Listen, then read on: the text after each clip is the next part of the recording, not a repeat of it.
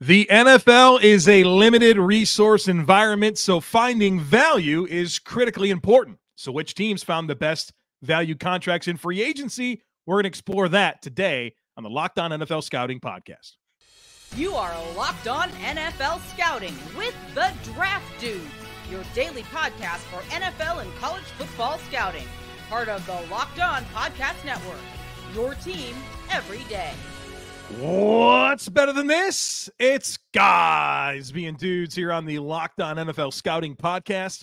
We're the Draft Dudes. I'm Joe Marino from Locked On Bills. He's Kyle Crabbs from Locked On Dolphins. And we are your NFL experts here with you daily to talk team building across the league on the Locked On NFL Scouting Podcast with the Draft Dudes, part of the Locked On Podcast Network, your team every day. Want to issue a big thank you, shout out, and welcome to our everydayers. Those of you who make Locked On NFL Scouting your first listen every single day we appreciate y'all being here very, very much. Today's episode is brought to you by Game Time.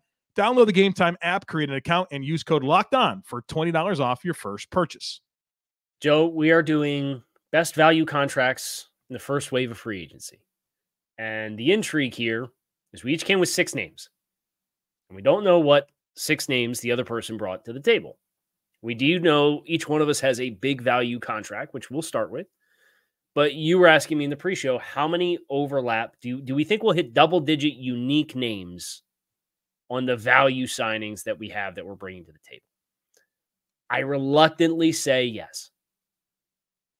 You like, seem to think it's going to yeah. be a shoe in for more versatility and that we might get 12 names out of 12. I think we're going to have less overlap than you think we're going to. Okay. Well, let's find out. Shall we? Started. Your best big value contract that you have from free agency in 2024 is whomst? Patrick Queen.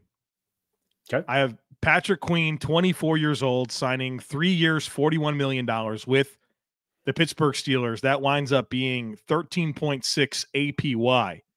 And the conversations we had about Patrick Queen and estimating that contract was higher than that. We thought I don't I don't want to say we. All right, that's not fair to lump you in. I thought he would push for like 18 million dollars a season based on his youth, based on his athleticism and how important this role has become in the NFL and what we saw Tremaine Edmunds get last offseason. So I thought there would be something similar for him. He comes in about $5 million under the projection, feels a big need for Pittsburgh, who They've had a lot of hardship at the linebacker position throughout the years.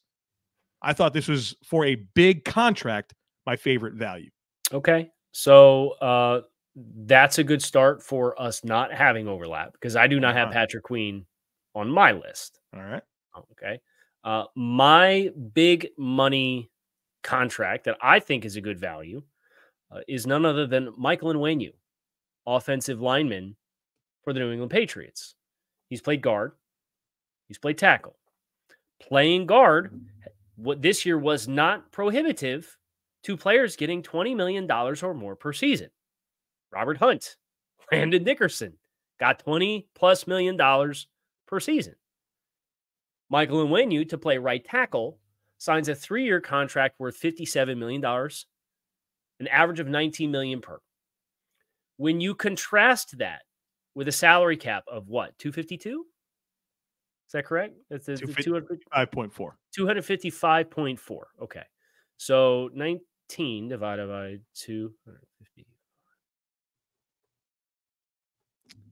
Jawaan Taylor signed a right tackle contract last offseason. Kyle coming in with Jawaan Taylor. With All nearly right. 9% of the, A, the, the AAV of that contract was 9% of that year's salary cap. Michael Onwenu's 19 to play right tackle for the Chiefs or for the Patriots, and he's apparently going to play tackle, is a full percent and a half lower average on the AAV of that contract. So seven and a half percent of the salary cap versus effectively nine percent of the salary cap for Jawaan Taylor a year prior in a season in which everybody spent everything on offensive linemen. Robert Hunt got $100 million. Landon Dickerson got a supersized contract extension. We see uh, Damien, I thought thought for sure Damien Lewis would be an amazing ad for a team in free agency for like eight million per. He got 13. Kevin Dotson got 17. Jonah Jackson got 16. We're spending these on guards that are guard exclusive, and you got a guard tackle player for a percent and a half less against salary cap than what Jawaan Taylor got last year for a better player. It's a good value. I'm sorry. It's big money, but it's good value. I have good news and bad news. Okay. The good news is that I don't have Michael and Onwenu on my list, so there's no overlap. The bad news is after that moment, I feel silly for not having Michael and Onwenu. Good. That's, that was that was the goal because I knew that'd be a hot take. Hey, 19 million dollar year player Yeah. is, is a good value, but When you said it, I was like, all right, Kyle, what do you got here? What do you what are you gonna say that's gonna convince me that this is a player you should have? I thought you had a, a heck of an argument there.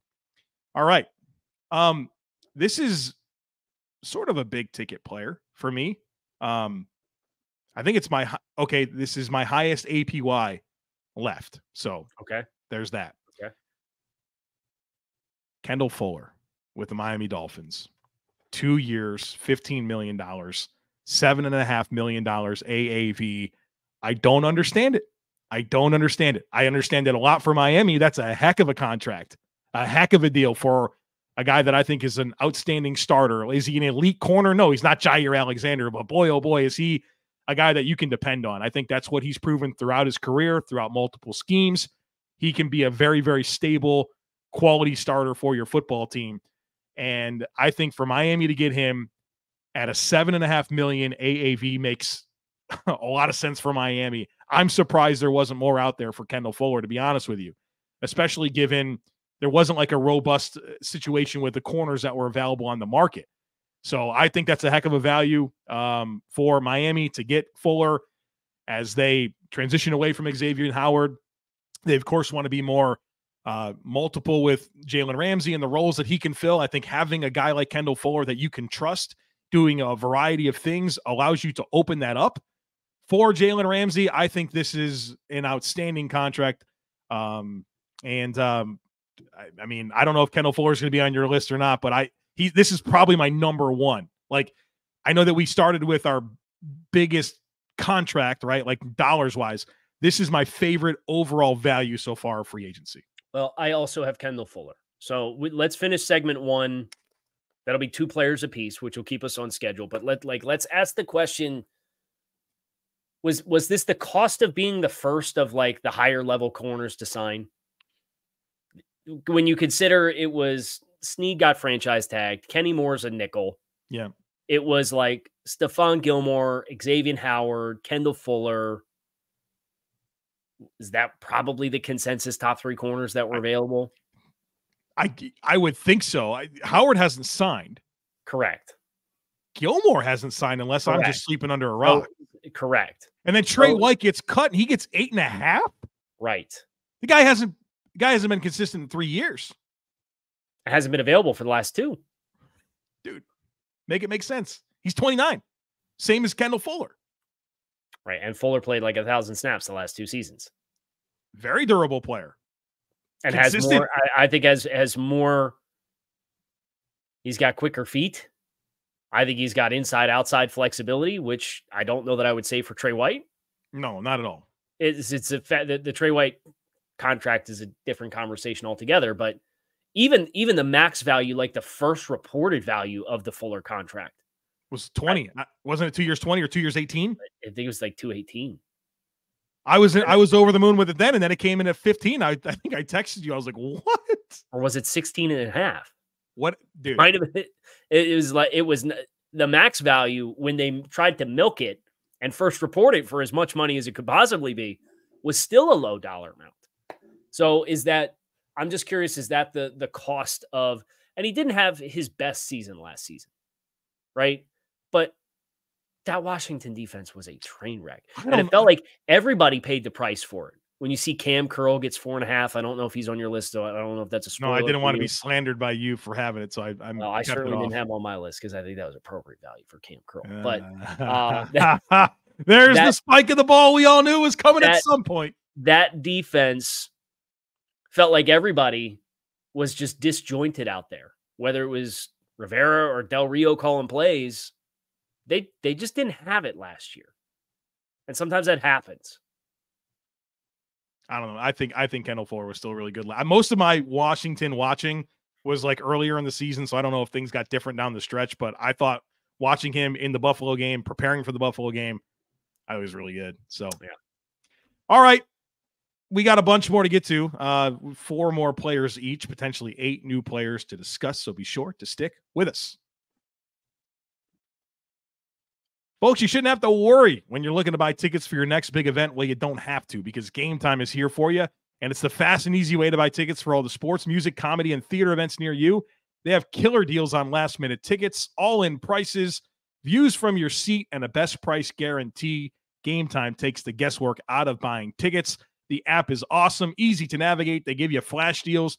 And I love this when you buy a ticket from Game Time, they send it straight to your phone so you don't have to dig through emails to find it. So check it out. Snag the tickets without the stress with Game Time.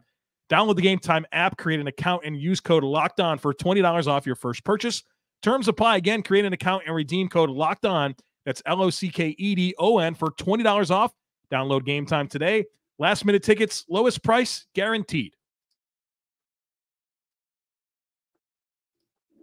I guess I should start since you gave two and I followed serve on one of the two.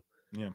Um, my next contract is uh, at another position where there have been, or entering into free agency, there was a lot of options available. And I think that certainly did not help the market um, explode as far as what, what players got.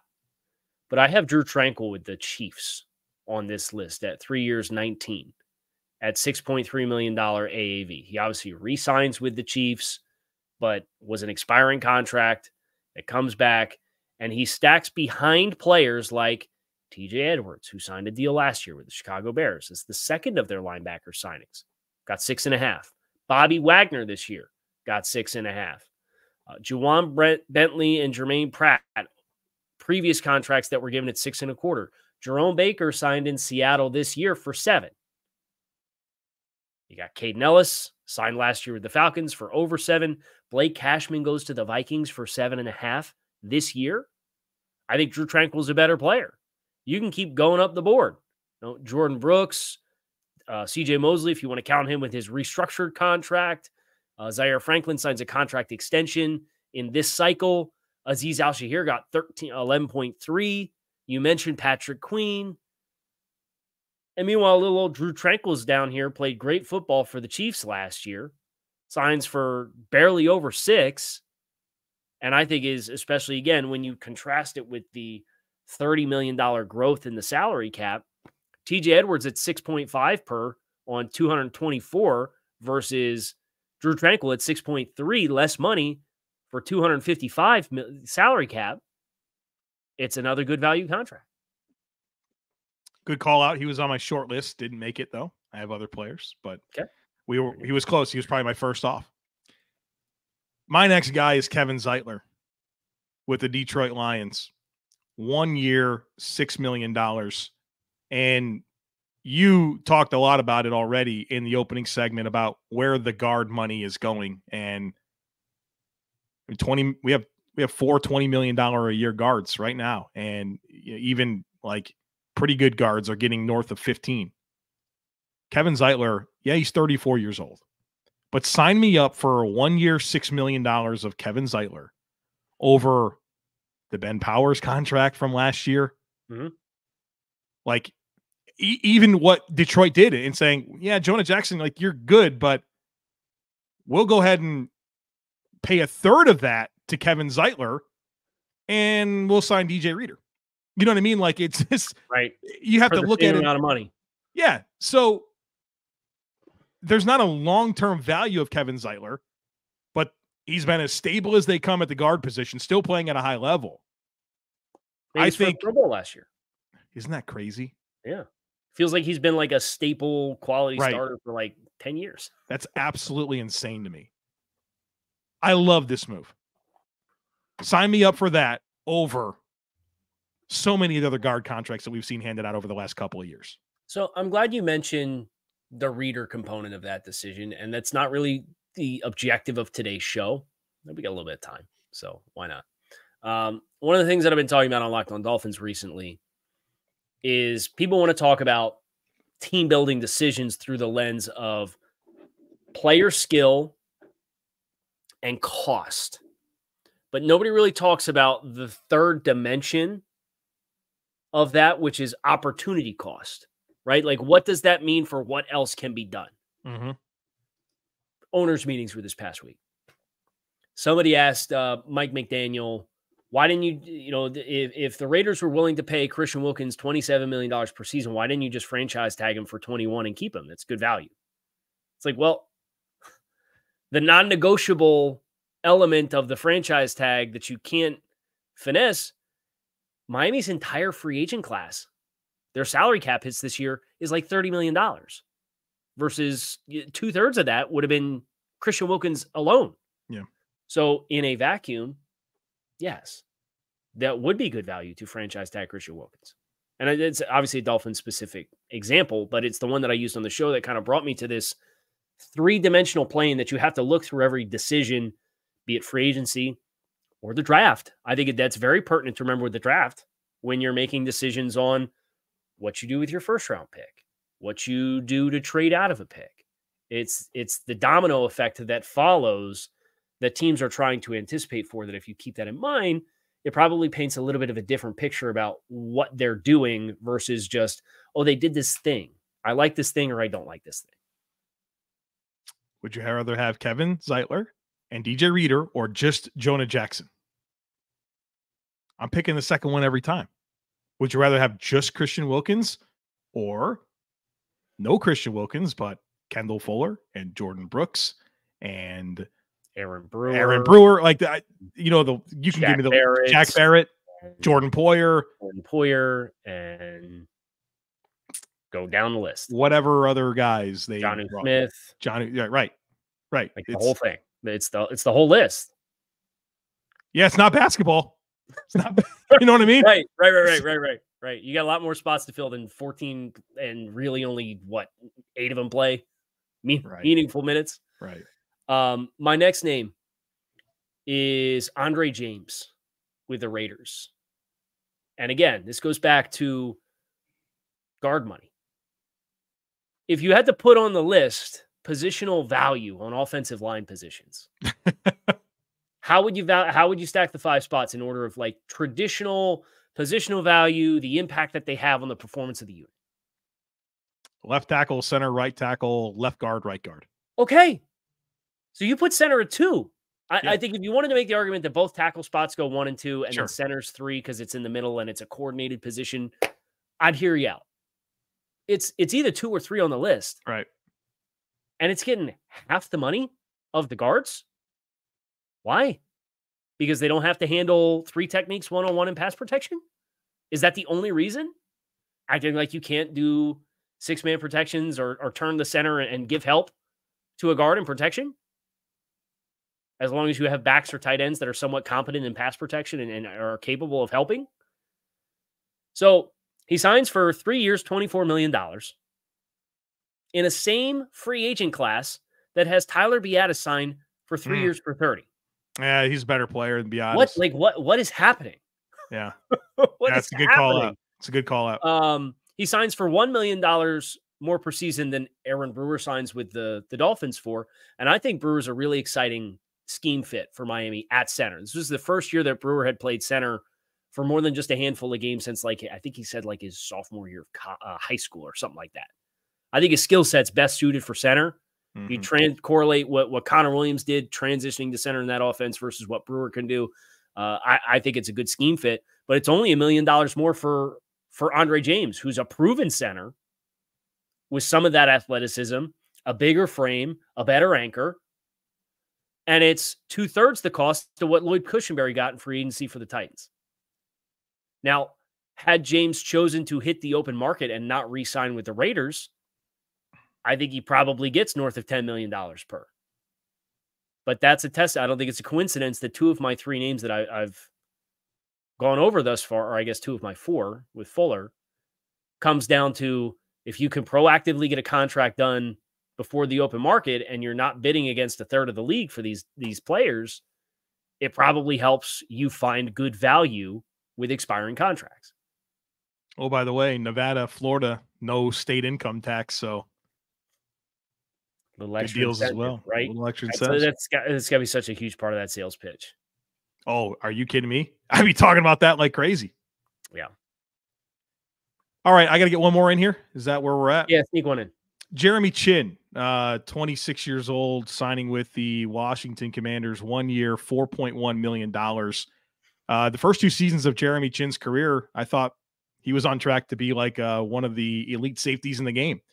And then you know, Ejiro Evero kind of comes to Carolina, maybe not as good of a fit with what he wants to do. Uh, you're also mindful of some injuries that Chinn has had, but for a Washington team that is resetting a lot, I mean, their roster transition is probably going to be the most drastic of any team in the league with Dan Quinn taking over and seeing a very clear fit for Jeremy Chinn to play that Markquese Bell role. Uh, Mhm. and probably a lot better than Markquese Bell played it. I think that's a good move for Chinn to maximize what he brings to the table in the NFL.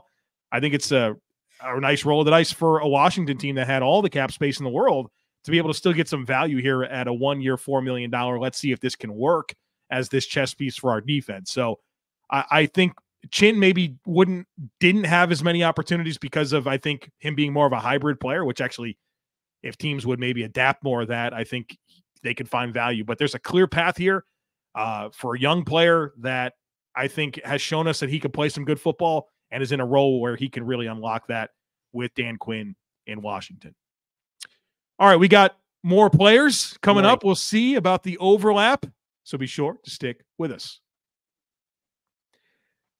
Say goodbye to busted brackets because FanDuel lets you bet on every game of the tournament. Whether you're betting on a big upset or a one seed, it's time to go dancing with America's number one sports book because right now new customers get $200 in bonus bets if your first $5 bet wins. It's 200 bucks to use on point spreads, money lines. You can even pick who's going to win it all. Just visit fanduel.com slash locked on and bet on college hoops until they cut down the nets. Didn't do the honors for segment three. I, you know what? My mind is very much on uh, the college basketball tournament, which I really don't care about. But this, if I'm understanding correctly, I think the Sweet 16 starts tonight, right? I Or believe so. today. I believe so. And that's a big deal because you have to keep in mind where I live, North Carolina. We got North Carolina plays, Duke plays, and NC State. How many Carolina teams advance? Alabama, North Carolina. Al- Al- North North Carolina's win that game. Duke and Houston. Houston's good at basketball. They're What's a one seed? Seed. They're a one Houston- seed. I'd probably go with Houston then. Go with the one And- seed, having not watched a single minute Yeah, of college basketball minute. all season. Yeah, and then NC State and Marquette. That's a two versus eleven. Marquette's the 11. No, Or NC State's the 11.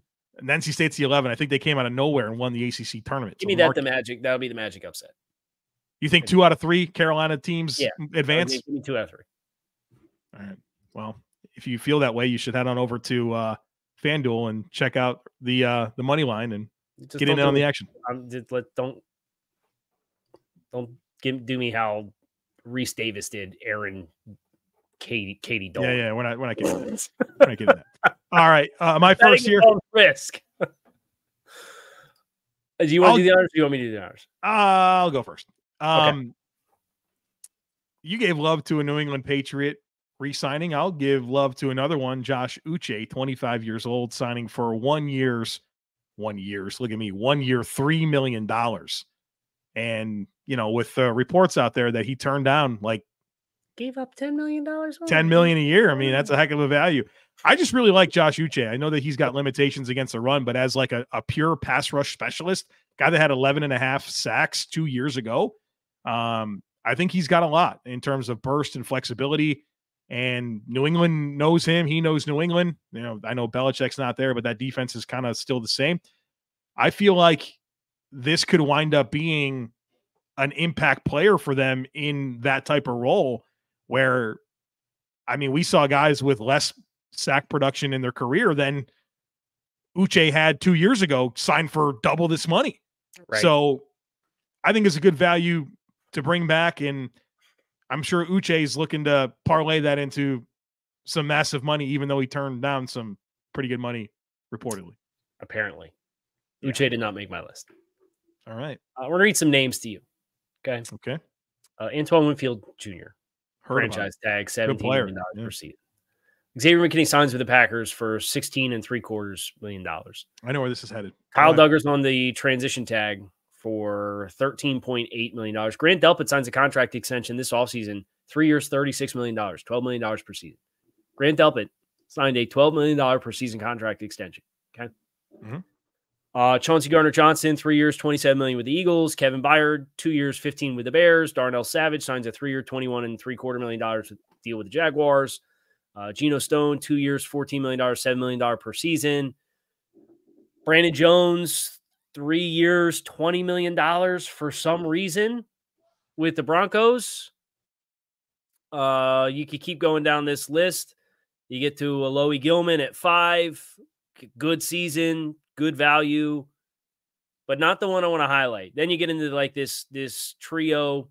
You mentioned Jeremy Chinn at 4.1. Cameron Curl, we mentioned two years, all jokes aside, two years, nine million is good value for a player that, that has his experience. Uh, Jordan Whitehead signs for two years, nine million with the Bucks. I think that's a good value, but not the one that, that I'm going to outline here. DeShon Elliott signed a two-year, six million dollar contract with the Pittsburgh Steelers for three million dollars per season, coming off a year in Miami, in which I thought he was from wire to wire the best safety, and J- Jevon Holland missed half the season, so that's part of of that declaration. But he was comfortably a better player than Brandon Jones was, who gets more than two times the money and an extra year on the contract from the Broncos. Now, I, I went down the full list to fully quantify that it wasn't just a Brandon Jones contract versus a DeShon Elliott contract. He got 33% less than Jordan Whitehead did. And I think he was a more consistent player than Jordan Whitehead was this past year. Jordan Whitehead had what, three picks in, ga- in week one? Shout out. I, I forgot about that. There was that. forgot all about yeah. the game, right? But like he had this crazy like game to start the season. Okay, so you look at his raw numbers for the year. He's like, oh, he had four picks. He, he got good ball production. He had three in one game. you look at the entire body work for the season. Elliott was a really good player, like a solid starter for Miami, and he signs in Pittsburgh for three percent. He signs for one quarter of what Grant Delpit signed with with the Browns on a contract extension. Hard to get better value than that. So that's Pittsburgh getting two guys that make our list here. Indeed. Yeah. Hmm, Good, good for them. Positions of need, linebacker and safety for them. Uh, Elliott probably helps with Fitzpatrick and being able to play him deeper, right? Like that's what I would want to do with Fitz, but maybe people disagree. Elliott's kind of like a really good tackler, can play. really good tackler. Yeah, Yeah. He doesn't have the range that Minkah does. He doesn't have the ball skills that Minkah does or the the but they complement each other. well. So they, Yeah. they should complement each other quite well. Yeah. My last guy, Devin Duvernay, 26 years Really? old. Sign, yeah, dude, I love this. I love this move. He goes to Jacksonville, two years, eight and a half million dollars. Now he's an all pro return guy, which matters a whole lot right now, Now. with this new NFL, bro. Like this kickoff stuff is really a big deal. Like probably, and credit to my brother Frank who who sent this to me in a text message, and I agree with him. Probably the most drastic like rule change that I've ever seen um, in my life of following football. We are going to see returns. It, it's going to happen. And Wouldn't you rather just give give teams the ball in the 30 though? if Devin Duvernay's back there, I probably think about that.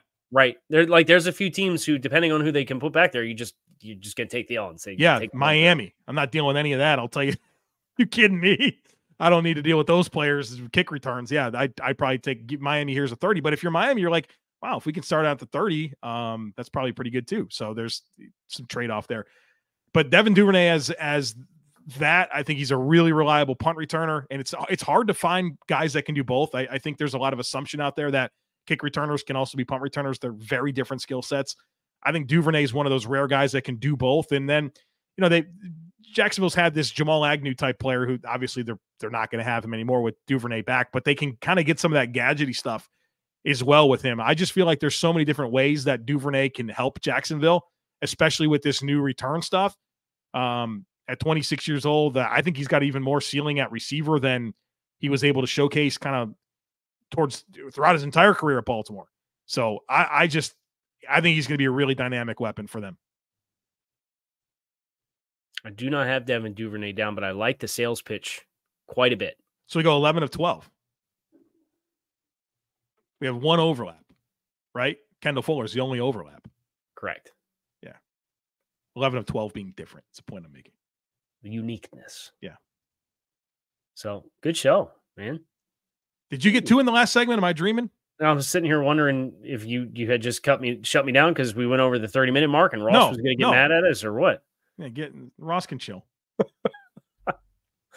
My last player is George Fant, signing in Seattle for four and a half million dollars. George continues to play football and play meaningful snaps. He played 80% of the snaps last year.